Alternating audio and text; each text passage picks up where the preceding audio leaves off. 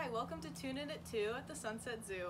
I'm Aubrey and I'm an education animal keeper and today we're going to talk about Hawkeye, our red-tailed hawk. Uh, you've probably seen his species um, around. They are native to Kansas and almost all of North America and some of Central America.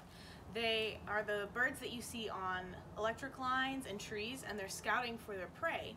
And their prey are small mammals like mice and they'll also eat small birds. Um, his diet is actually consisted of mice and chicks.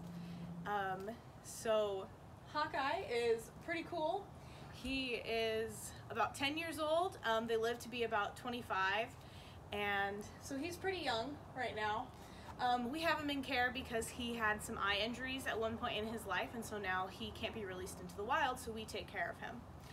Um, so a lot of things that endanger red-tailed hawks, they're pretty stable right now, they're not endangered, but um, rat poison is one of their number one killers because when you give rat poison out if you have a mice problem, then the rats eat it and they scurry away and then animals like hawkeye or foxes or other animals that eat small rodents eat that mouse and then they also get poisoned.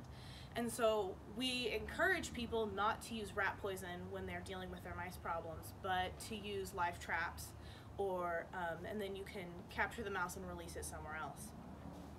Another really cool thing about red-tailed hawks is if you've ever watched a movie um, and you hear some kind of bird in the background, um, it's probably a red-tailed hawk. And that's just the common noise that is heard throughout all movies. If you've seen a desert scene, there probably is a red-tailed hawk noise in the background.